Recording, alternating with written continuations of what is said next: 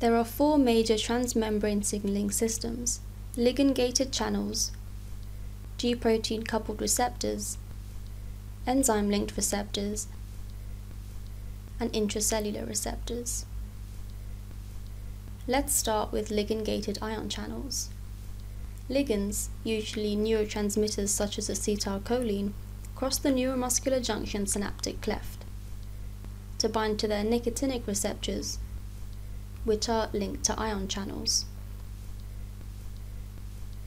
Activation of nicotinic receptors induces conformational changes that results in opening of ion channels that allow the influx of various ions. For example, sodium ions which modulate the cellular action potential.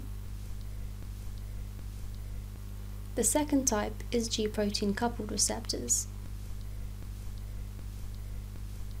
In this type of signaling, binding of the ligand to, to its extracellular binding site induces conformational change in the transmembrane receptor. This conformational change results in activation of alpha subunit of G protein. Activation of alpha subunit results in dissociation of GDP and binding of GTP to alpha subunit. Binding of GTP to alpha subunit stimulates its dissociation from beta and gamma subunits, which form separate beta gamma dimer. Then both alpha subunit and beta gamma dimer activate various effector targets. For example, alpha subunit activates membrane bound enzymes such as adenylyl cyclase and phospholipase C, which in turn activate a cascade of second messenger reactions, which leads to various biological responses. The third type is enzyme linked receptors.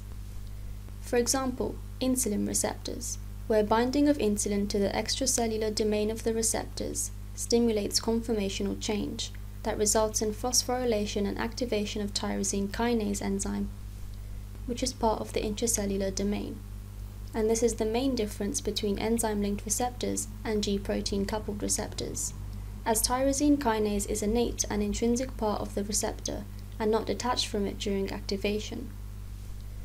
Then active phosphorylated tyrosine kinase phosphorylates effector protein called insulin receptor substrate, abbreviated as IRS, which in turn stimulates a cascade of wide biological responses. Finally, intracellular receptors. Lipophilic molecules such as steroid hormones pass through cell membrane and bind to and activate their intracellular receptors. The activated internal receptors regulate the expression of various genes. This video was narrated by Zainab Hamad, a medical student at King's College London.